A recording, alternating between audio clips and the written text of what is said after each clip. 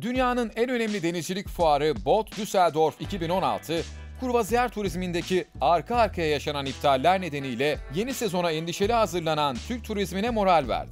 60 ülkeden 2000'e yakın katılımcının yer aldığı Boot Düsseldorf 2016 fuarında ziyaretçiler, Türk firmalarının standlarına büyük ilgi gösterdi. Çeşme Kaymakamı Mustafa Erkayran'la Deniz Ticaret Odası İzmir Şubesi Yönetim Kurulu Başkanı Yusuf Öztürk, 23-31 Ocak tarihlerinde açık kalacak ve 250 bine yakın ziyaretçinin beklendiği fuarda tur operatörleri, katılımcılar ve ziyaretçilerle bir araya gelerek Türkiye'nin tarihi zenginliğini, doğal güzelliğini ve deniz turizmi imkanlarını anlattı.